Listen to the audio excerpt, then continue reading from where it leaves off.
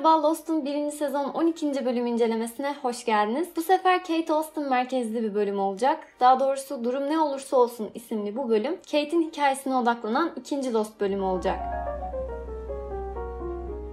İlk olarak Kate'in bir ağaca tırmanmasıyla başlıyoruz. Diziyi ilk defa izleyenlerin artık karakterler hakkında ufak tefek fikirleri oluşmaya başlamıştır diye düşünüyorum. Şimdiye kadar da Kate'in hep cesur ve çevik özelliklerini gördük. Belki bunların yanına ayrıca gizemli oluşu da eklenebilir. Hakkında bilmemiz gereken çok şey var. İlerleyen dakikalarda ayrıntılara değineceğim. Sawyer gizli gizli takip ettikten sonra Kate'den ufak bir darbe yiyor. Sawyer'ın Kate'e bir şeyler hissetmeye başladığını özellikle bu bölümde biraz daha fazla görmüş olduk. Ve ikilimiz bir su sesi duyduktan sonra ileride bir şelale olduğunu fark ediyor. Suyun dibinde buldukları cesetler uçağın gövdesinde bulunan kişilere ait ve bu kişilerin altında ise dikkat çekici bir eşya var. En azından Kate için çok önemli bir eşya. Dalgaların dengesiz bir biçimde yükselmesi sebebiyle su sahilden yaşadıkları alanlara taşmaya başladı ve kazazedeler eşyalarını taşımaya çalışıyorlar. Bu arada Jack ve Said Fransız kadın hakkında ve onun kağıtlara düştüğü garip notlar hakkında konuşuyorlar. Daha öncesinde Said Rousseau'nun sesler duyduğunu ve birileriyle konuştuğunu söylemişti. Kendisi pek inanmasa da söylediği şeylere Jack inanıyor çünkü o da hayatta olmayan babasını görmüştü hatırlarsanız. Hem de birkaç kez. Adada Fransızca bilen tek kişi olduğu için Said bu konuşmalar sonucunda Shannon'dan yardım isteyecek ve bu notların aslında pek bir şey ifade etmediğini, sadece şarkı sözlerinden ibaret olduğunu anlayacak. Ve ben de bir şekilde bu şarkıya ulaştım. Charles Trenet isimli bir sanatçının 1976 yılında yayınlanan ve sözlerinde denizi anlatan şarkısı. Detaylar konusunda bile bu kadar harika olabilen çok ilginç bir dizi. Deniz'in Russo için anlamı çok büyük. Bunu ilerleyen bölümlerde tekrardan konuşacağız. Eğer dinlemek isterseniz şarkı şarkının linkini de açıklamalar kısmına bırakacağım. Ayrıca bölüm sonunda Shannon şarkıyı söylerken bu onun arkadan ne kadar kötü baktığını da görebilirsiniz.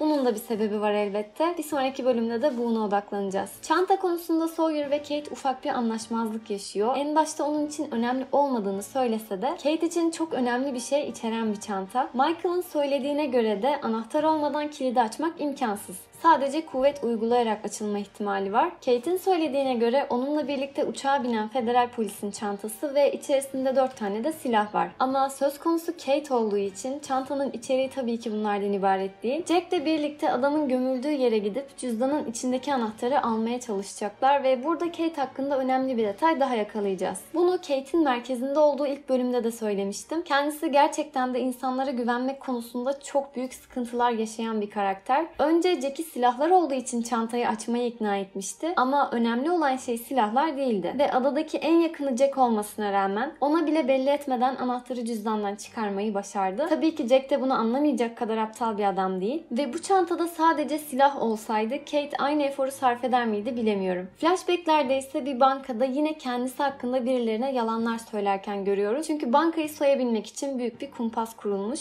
Burada da karakterin ne kadar manipülatif birisi olduğunu gördük. Kate'i tanımıyor olsanız büyük ihtimalle bu adam gibi söylediği şeylere siz de inanabilirsiniz. Bölümün başından beri Kate'in peşinde olduğu çanta ve içinden çıkansa sadece küçücük bir uçak. Kendisi kime ait olduğunu söyledi ama ilerleyen bölümlerde bu konuyu da aydınlatacağız. Çünkü yine flashbacklerde çok güzel bir hikaye anlatacak. Kasanın numarasının 815 olması da bir tesadüf değil tabii ki. Bu dizinin sayılarla bir alıp veremediği var ama bu da en güzel detaylardan bir tanesi olmuş. Çünkü biliyorsunuz adaya düşen uçağın sefer sayısı da 8 1815'ti. Son olarak Rose'un Charlie'ye söylediği gibi gerçekleri kabullenmemek ve inançlı olmak arasında gerçekten de ince bir çizgi var.